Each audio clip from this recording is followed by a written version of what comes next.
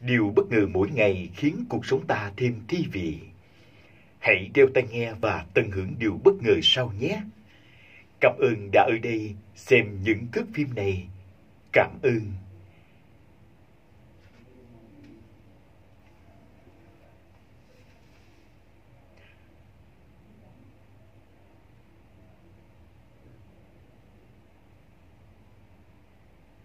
Họ đã cảm ơn vì điều gì?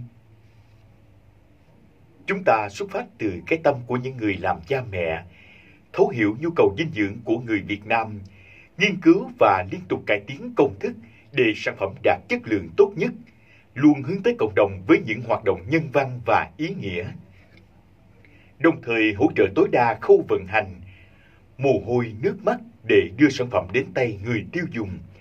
Năm 2020, Nutifood Pro Plus Cộng đã trở thành nhãn hiệu sữa trẻ em số 1 Việt Nam – Cảm ơn những đóng góp thầm lặng của tất cả nhân viên Nutifood.